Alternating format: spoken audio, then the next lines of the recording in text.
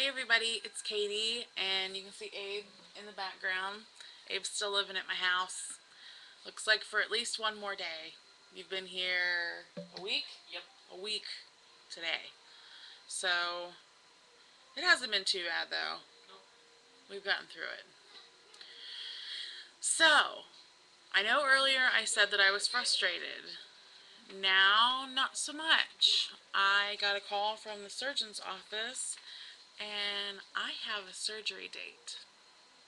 My surgery is scheduled for June 26th, which, let's see, one, two, three, four, five, six, six weeks from Friday. Which some people would say that's not soon enough. For me, that's soon enough because I have a lot of crap to do. I have a lot of stuff to get out of the way. I have clients to reorganize and get all that stuff taken care of because I'm going to be out of work for a few weeks. Um, that's just a tentative date right now because we're waiting for the approval letter um, from the insurance company just the, the woman at the surgeon's office says that she has the approval. She just has to get the letter for their reasons, obviously, because they can go back and when they go to bill, the insurance company can say, well, we didn't approve that. Well, they'll have the approval letter. So, I look awful. There, it's raining out, so my hair is crazy.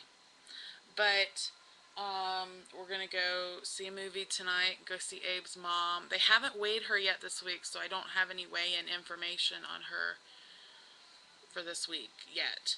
She's frustrated about that. Um, Abe's stepdad is doing better.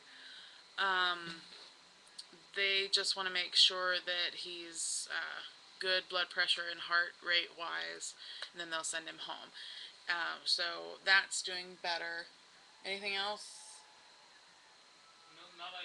I can't think of anything else. This is my second video today. Eli really wanted to do a video. So, um, yeah, that's that. And I will talk to you guys soon. So, we're making progress. More progress. Have a good day. Keep your chin up. And I'll talk to you later.